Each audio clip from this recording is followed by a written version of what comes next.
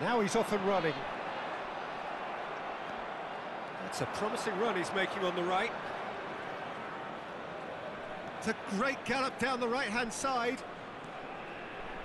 Showing good feet.